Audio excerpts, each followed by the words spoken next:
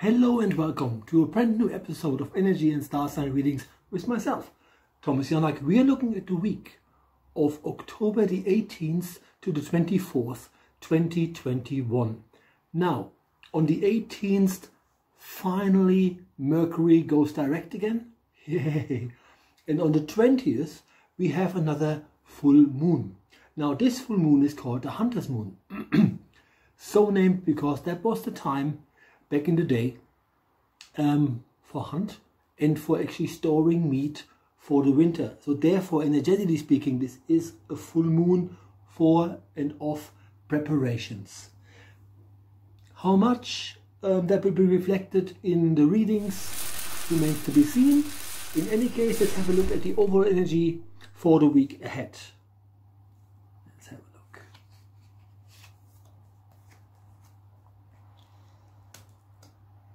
So, energetically speaking, we have the kit fox and the red-tailed hawk.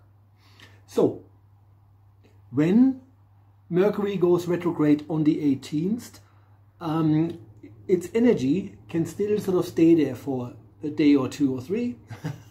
and then we're heading to the new moon, which is sorry, to the full moon, which can also um, make us feel a bit almost burdened, energetically speaking.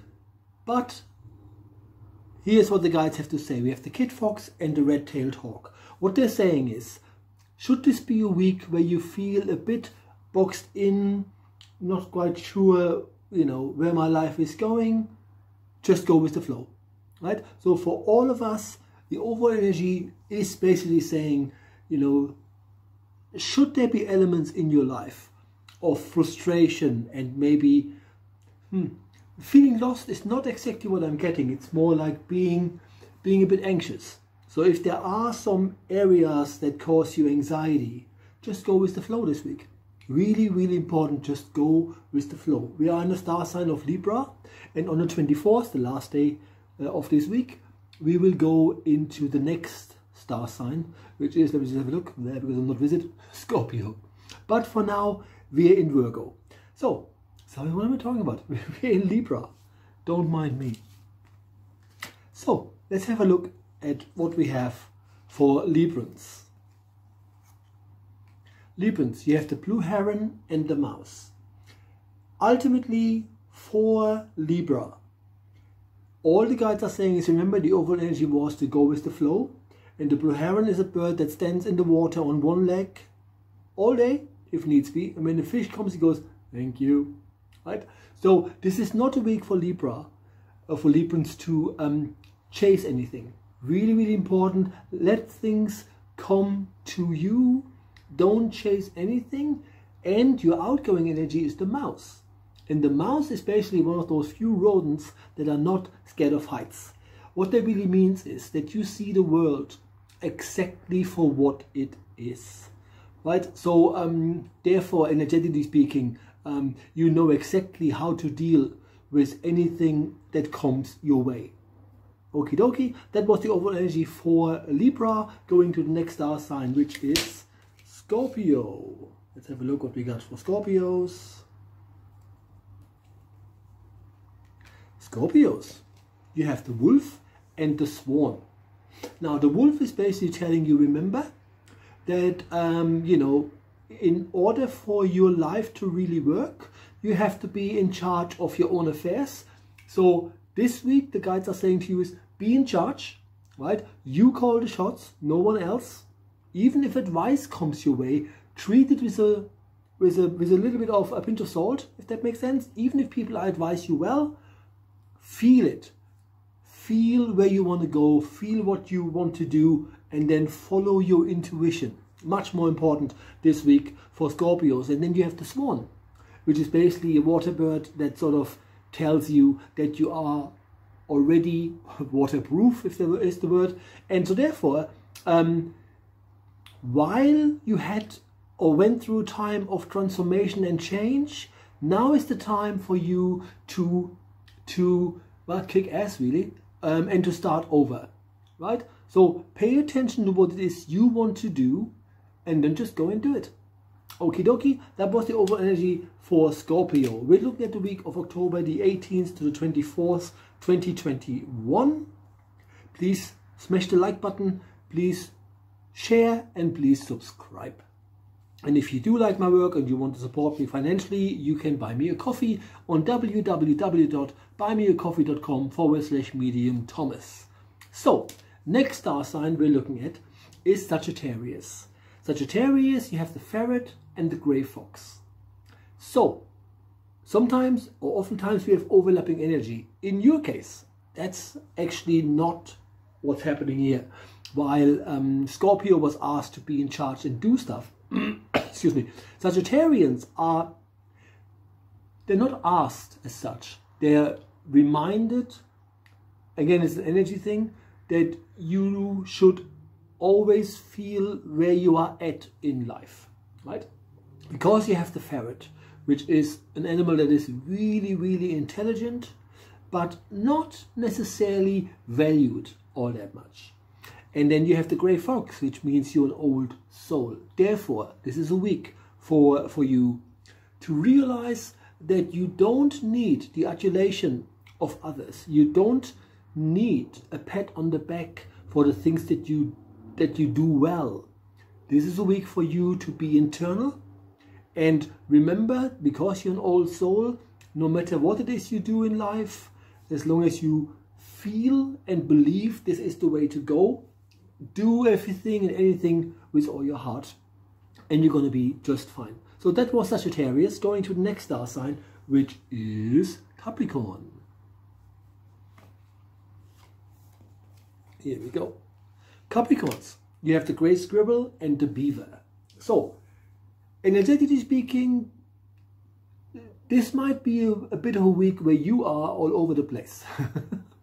it just means that this is a week where where if you have any ideas or thoughts, they might just go right. So you may have even too many thoughts. Um, so you need to therefore calm down, right? So energetically speaking, because this is, a, is about looking at what is coming to you energetically speaking, what is it you um, you want to look at, what is it you want to do, which seems to be a theme this week, is to look and remember. That makes sense because the full moon that we're having is the hunter's moon, which is about prepare, preparing, you know, preparation for the winter, as it was, or as it were. But um, this is about preparing for your future.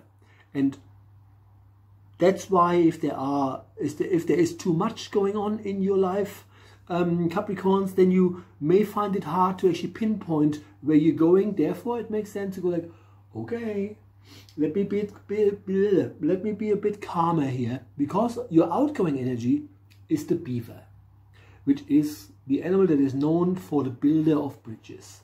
So you automatically will think about the people you love, the people you care about, um, and all the guides are saying to you is manifest for yourself. The universe knows that you're a unit, right? And therefore they support the entire unit, right?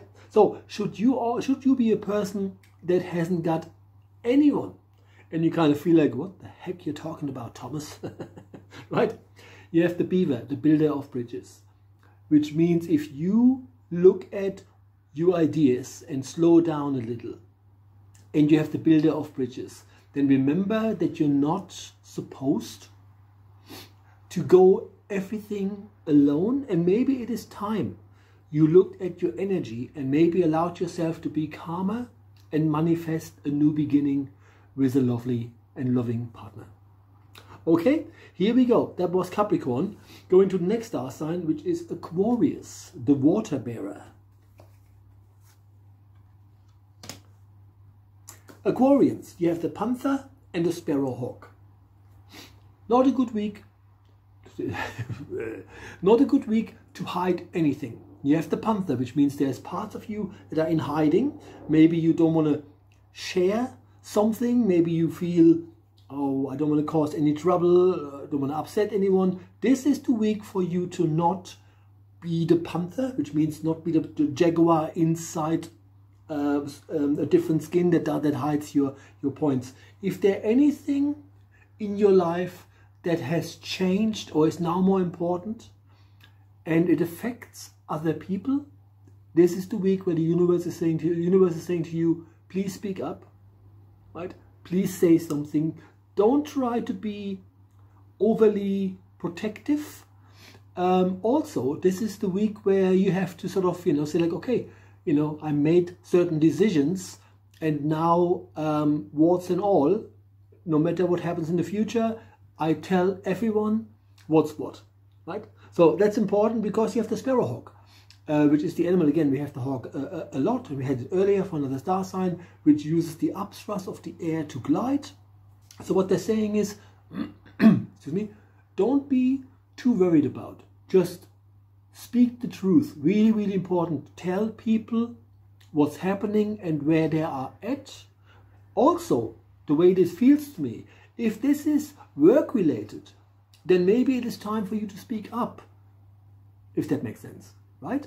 Um, you can't control people. You know, you, you never know what people do from one minute to the next, if that makes sense. And so what the guides are saying is, don't try to read into, oh, is that a good time?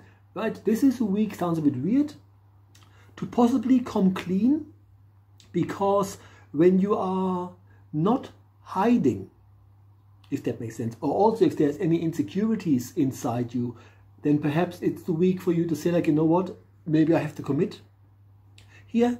And that's what I'm hearing for Aquarians, if that makes sense. So my feeling is that this is uh, one of those bit weirder um, uh, energies that I'm getting, which means it might not apply to all of you, but then again, these are general readings, so they might never apply to, to everybody, if that makes sense. But for Aquarians, this is a really important week because the panther is not capable of hiding in the bushes because of the black fur.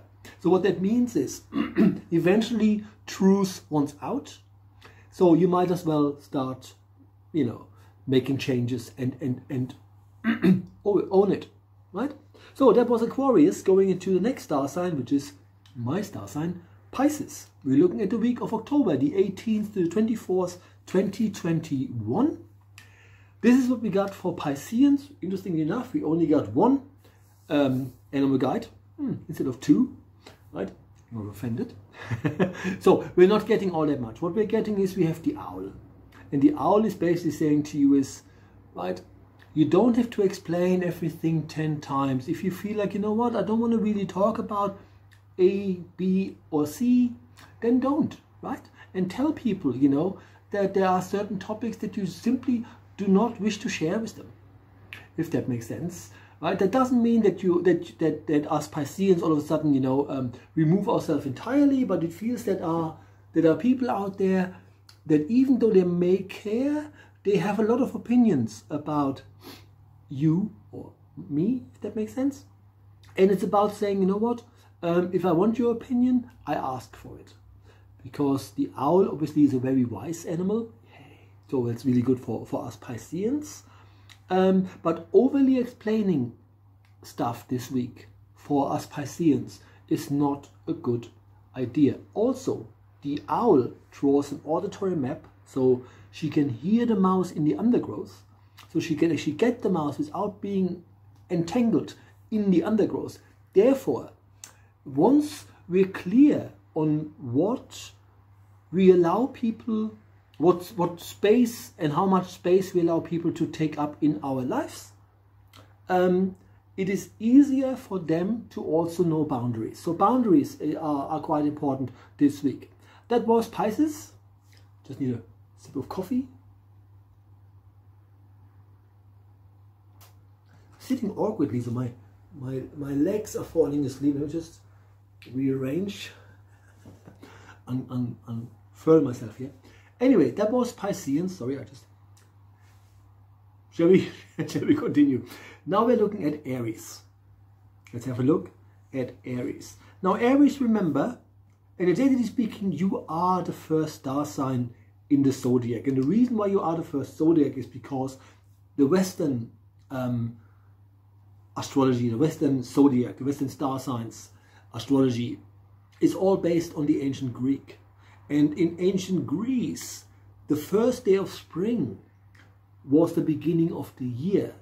And that falls into when you are born or when you were born, Aries. So you are an element of new beginnings, therefore you are first.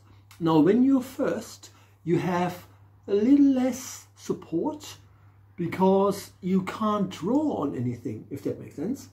Now, since we're, we're, we're humans and, um, you know, it doesn't mean that, that, you're, that you're, you're not getting advice.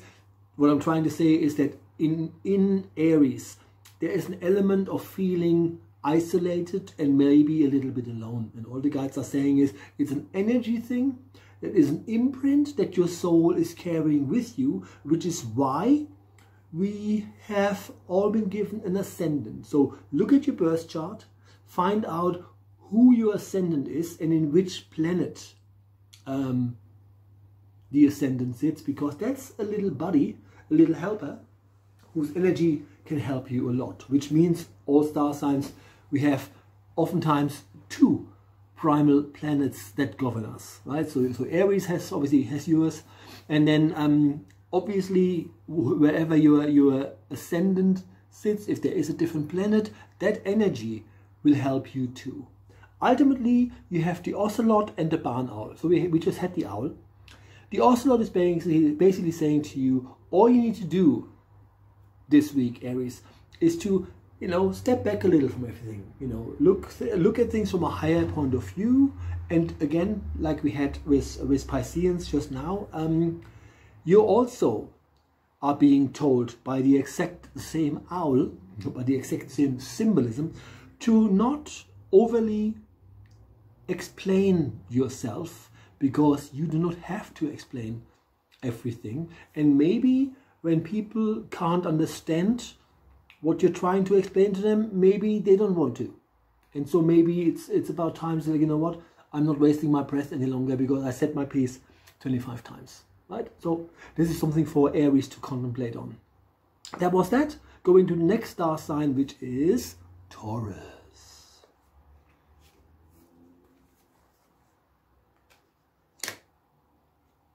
Taurus, you have the mule deer and the red fox. The mule deer is basically saying to you, this is a week for you to be in as calm a mood and in as calm a mode um, as you can possibly be. Don't allow anyone to piss you off. Don't allow anyone to lower your energy, if that makes sense. Taurians, this is a week for you to literally nurture yourself, look after yourself and look at yourself and make sure that you have enough time just for yourself because you're outgoing energy. We had that animal or that, that animal guide before as well, which is quite normal because we oftentimes have overlapping energy. You too have the red fox, denoting that you are a very old soul. And that means that sometimes when you have a certain level of understanding of the universe and life, you may attract people that are not quite there yet, which also can bring a bit of um, isolation to Taurians. Okie dokie, here we go. So uh, before we go on to the next star sign, uh, which is Gemini, um, just one more thing for, for Taurians. Remember that you are governed by Venus and therefore you have a special alignment with the universe. Google the pentagram of Venus um, and what it means because that symbol and that symbolism, that energy um, is with you at all times and it helps you to idle a bit higher. So it's called the pentagram of Venus. Um, right? So have a look at this, Taurians. Now we're going to the next star sign, which is Gemini. Here we go. Gemini.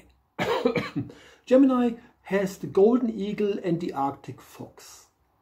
So, what the guides are saying to Gemini is you see things coming. So no point being anxious, no point trying to figure out what's next, right? Things will come to you. Just relax And things that are for you can and will find you because your outgoing energy is the Arctic fox. Now, of all the foxes, because he lives in the Arctic, he is therefore the most vulnerable, simply because there is less opportunities and food in the Arctic. and so what they're saying to you as an old soul that the fox represents is there is elements to you and parts of you that are vulnerable.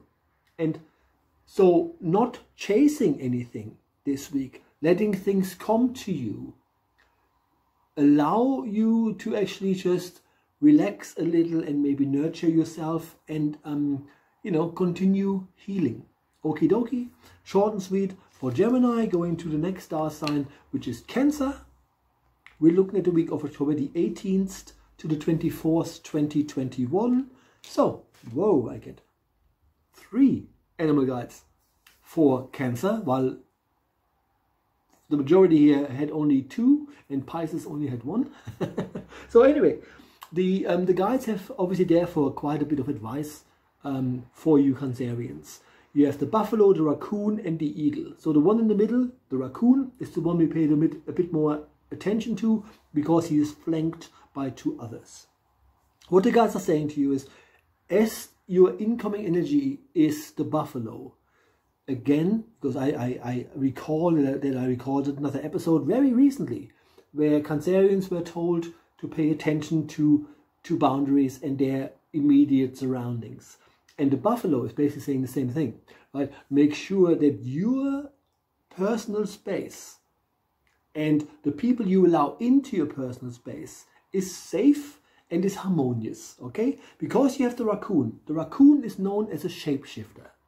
And therefore, what the guides are saying to you is one of your biggest things that you do right now, Cancerians, is literally to try to adapt to whatever the heck is happening in your life, if that makes sense. And so you're not feeling in charge. You're just feeling like, well, eh, right? and then the outgoing energy is the bald eagle, another eagle. So what they're saying is, right, stop adapting too much. Just assess where you are in life, assess where your, your personal space needs tweaking, and then things can come to you because that's what the eagle is basically saying to you. You know, you can then see what's coming your way without having to chase anything. Okie dokie, that was Cancerian. Now we have um, Leo and Virgo left. Here we go. Next star sign therefore is Leo. Wow, and you too have three animal guides. Wow, so for Leos, you have the caribou, the crow in the middle, and the brown bear. Like I said, um, every time you have three, the one in the middle that is flanked by two other animal guides, we pay a bit more attention to because that's sort of the one that you really need to understand. You have the caribou, the crow, and the brown bear. The caribou is basically a reindeer, an animal with a split hoof, so when the terrain gets difficult, the caribou doesn't sink in, which is for you to realize, number one, a caribou has antlers. Antlers is a sign of protection. in the caribou's case, the antlers literally go backwards, which means you don't have you don't have to fight at all, right? You have antlers, you are strong, you can use your strengths if needs be. But if you feel triggered by people, they know how to push your buttons, so don't allow that to happen, right? So, and then the crow is the animal of transformation. Leos, you are going through changes and because you're going through changes that to me feel life-changing or at least somewhat severe, so there is a, either a lasting impact on your life or quite an impact for quite some time. So there seems to be um, bigger things um, going on for Leos. Um, all they're saying is let it happen, right? Pointless worrying about it. Just again, go with the flow. Think, yeah, whatever needs to be done right now to improve the situation, I go along with it. Okay? And then the outgoing energy is the brown bear. Now, all bears are about healing. The brown bear is the one that really, really, really denotes deep healing. So what they're saying is go along with the flow. Go with the things, even if they're difficult. And um, allow yourself in the meantime and while you're going through things to allow yourself to welcome whatever feeling it is you're feeling. Let it run through your system and acknowledge it all as part of your learning and healing curve. Right? That was Leo. Now we go into the very first star sign of this week, Virgo. Now remember we're going into the star sign of Virgo on the 24th. So next week Virgo is the first star sign. So when you look at the symbolism of Virgo, you have this little M thing, arrow. it actually, it actually is the sign for intestines.